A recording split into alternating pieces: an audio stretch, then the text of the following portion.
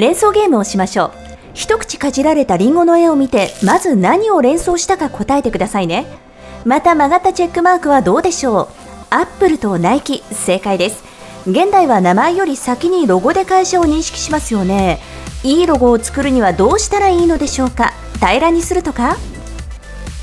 最初にロゴが使われたのは古代エジプトです。その頃の人々は象形文字を使って自分の持ち物に印をつけていました。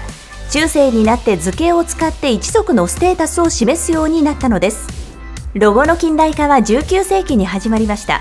活版印刷の発明で広告産業が発達したのです。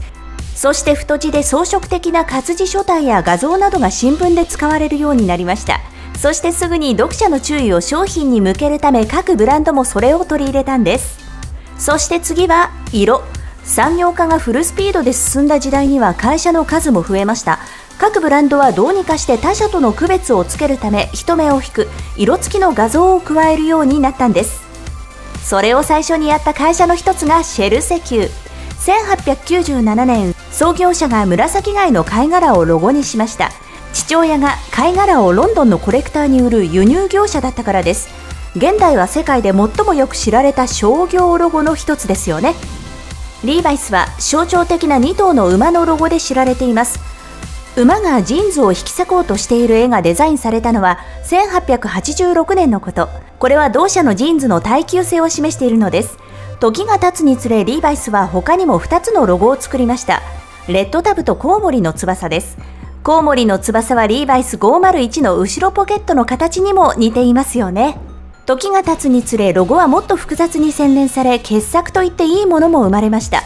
ですが20世紀後半にデザイナーたちはロゴはさっぱりしていて分かりやすく覚えやすいものがいいと気づきます。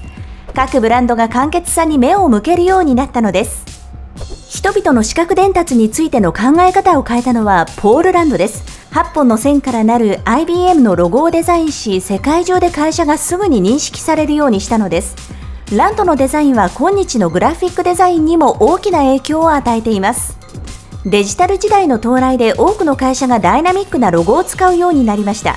大きな例がメインページのロゴが変化する Google Doodle です。内容が変わっても全体の構造は同じで祝日や歴史的記念日人物を思い出させてくれます。検索ページのフッターに注目してみましょう。O が増えてロゴが伸びていますね。これは結果のページ数を示しているんですよ。タッチスクリーンができても誰もが現実から仮想世界に切り替えられたわけではありません。これらの発明に適用しやすくなるためデザイナーたちは電子機器のスクリーンに 3D アイコンを使ったのです。影や厚み食感を加えて本物らしく見えるようにしたというわけ。これはスキュアモーフィズムと言います。なんだか病気の名前みたいですね。各社がこれに気づきロゴをもっと 3D に見えるようにしました。世界が新しいテクノロジーに慣れてくるにつれデザインは 2D に戻りましたスクリーンのスペースを取らない機能的なミニマリストの平面デザインが好まれるようになったんです平面的なデザインはスクリーンの大小を問わず見栄えがいいという利点もありますでもこの新しいトレンドに乗らず本物っぽい 3D のロゴデザインやアプリのアイコンを使い続ける会社もあります。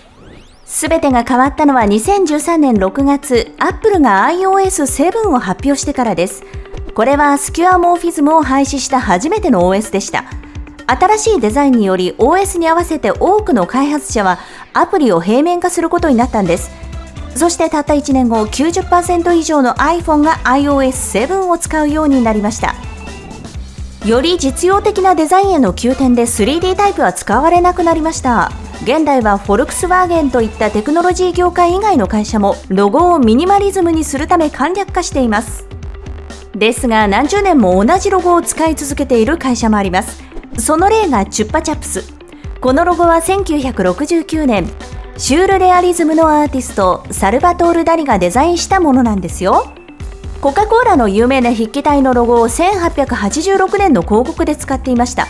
その後同社は特徴的な赤い色を取り入れたのです。スタンダードな色と波打つリボンのようなロゴで他の言語で書かれていてもコカ・コーラのロゴはすぐにそれと分かりますよね。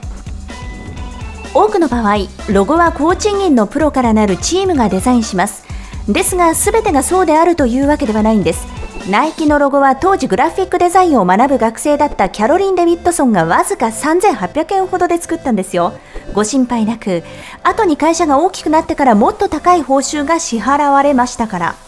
ネスレのロゴはかつてネスレ家の紋章に巣に座っている鳥を加えたものでした。1868年同社は現在のロゴの最初のバージョンを初めて使いました母鳥が3羽のヒナに餌を与えている絵ですベビーフードを主力にしたことを受けてこのように変わったのです。ですが現在のロゴをよく見てみるとヒナが2羽になっているんです。現代では子供2人の家庭が一般的であるというのがその理由。もしくは鷹に食べられたとかって冗談ですよ。アップルの最初のロゴには誰もが驚くと思いますよ。古くて入り組んだ版画みたいだったんです。流れるようなリボンが絵を囲んでいて Apple コンピューター &CO. と書かれています。でも目を細めてよく見てみましょう。木の下に座る男性は背後には美しい丘。男性は本を読んでいて頭上にはリンゴが一つ。そう。アイザック・ニュートンです。現在の有名なかじられたリンゴのロゴはその翌年1977年から使われるようになりました。印象的なロゴはシンプルで他と異なるというだけでなく賢いコンセプトがあります。Airbnb のロゴを見てみましょう。3つのシンボルを組み合わせているんです。旅行者の頭所在地のアイコンそしてハート会社名の頭文字である A の文字にも似ていますよねビーツエレクトロニクスのロゴにも2つの意味があります1つは分かりやすいですね大きな赤い丸の中に白い丸があり、ビートの頭文字 B になっています。ですがよく見るとヘッドフォンをつけている人を横から見た絵になっているんですよ。でも、いいロゴであろうとなかろうと、一番重要なのは商品が売れるかどうかってことですよね。今日何か新しいことを学べたと思ったら、動画の高評価、お友達への共有をお願いします。他のおすすめ動画もぜひチェックしてくださいね。これからもブライトサイドをよろしくお願いします。ご視聴ありがとうございました。